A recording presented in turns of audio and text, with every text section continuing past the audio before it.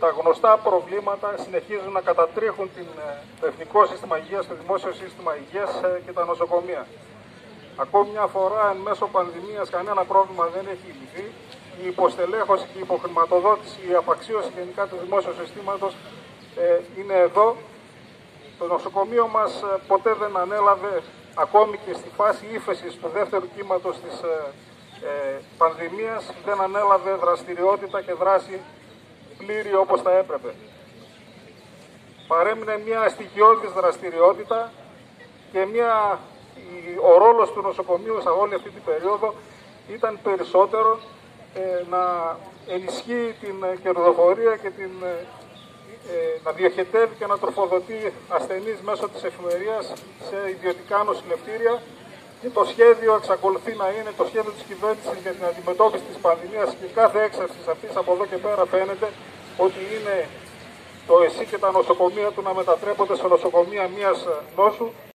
Δηλώνουμε πάντα τη στήριξή μας σε αυτά τα τόσο αναγκαία ε, αιτήματα που προβάλλουν οι νοσοκομιακοί γιατροί και γενικότερα οι υγειονομικοί, αναγκαία για την αντιμετώπιση της πανδημίας της χώρας μας για την προστασία της υγείας του λαού, της περιοχής και γενικότερα, δεν συμμεριζόμαστε σε καμιά περίπτωση όλο αυτό το κλίμα που προσπαθεί να περάσει η κυβέρνηση, ότι είμαστε στην αρχή του τέλους.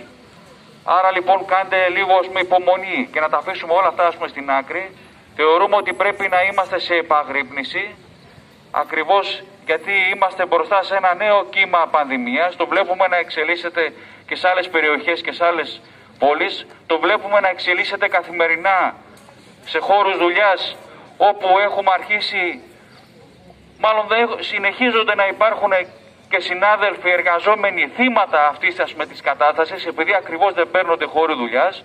Άρα λοιπόν είμαστε σε ετοιμότητα συνεχώς να αντιδράσουμε διεκδικώντας την προστασία της υγείας μας να αντιδράσουμε απέναντι σε αυτό τον κατάπτυστο τρόπο με τον οποίο απαντάει η κυβέρνηση συνεχίζοντας το έγκλημα απέναντι στην καταστολή που ξεδιπλώνει τόσο απέναντι στους υγειονομικούς που τόσο καιρό διεκδικούν όλα αυτά τα αιτήματα και δεν έχει ικανοποιήσει ούτε το παραμικρό αλλά και απέναντι σε όσους σηκώνουν κεφάλι. Η υπόθεση της υγείας και το τι γίνεται μέσα στα νοσοκομεία δεν αφορά το προσωπικό της, αφορά όλη την κοινωνία είναι μια υπόθεση, είναι πρώτη ανάγκη που πρέπει να παλέψουμε για δημόσια δωρεάν υγεία για όλους.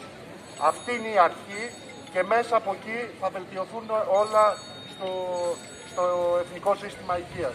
Είμαστε φοιτητές από τις σχολές νοσηλευτικής ιατρικών εργαστηρίων και ιατρική σήμερα εδώ. Ήρθαμε να στηρίξουμε και τον αγώνα των συναδέλφων μας υγειονομικών. Όχι μόνο ε, σαν ε, στήριξη, ας το πούμε και έτσι, αλλά και γιατί εμείς ουσιαστικά θα είμαστε οι αυριανοί εργαζόμενοι μέσα στα νοσοκομεία, εμείς θα στελεχώνουμε όλο το σύστημα υγείας. Και βλέπουμε και το τελευταίο διάστημα και εδώ ένα χρόνο που έχουμε και κλειστές στις σχολές μας, την κυβέρνηση να μην παίρνει ούτε ένα μέτρο για να συνεχίσουμε τις κλινικές και πρακτικές μας ασκήσεις, να μπαίνουμε στα εργαστήριά μας στο νοσοκομείο, που ουσιαστικά θα μπορούσαμε να βοηθήσουμε ε, πολύ ουσιαστικά και να στελεχωθεί κάπως και το σύστημα υγείας με ό,τι γνώση έχουμε μπορέσει και εμείς να, να αποκτήσουμε μέσα από τις σχολές μας. Ε, να δηλώσω και από εδώ κιόλας ε, και για, τις, ε, για την καταστολή που υπέστησαν συνάδελφοί μας ε, χθες στη Θεσσαλονίκη. Ε, βλέπουμε αυτό το γεγονός με αποτροπιασμό και η φοιτητική σύλλογη της Λάρισας που διαδηλώσαμε και χθες για αυτό το ζήτημα.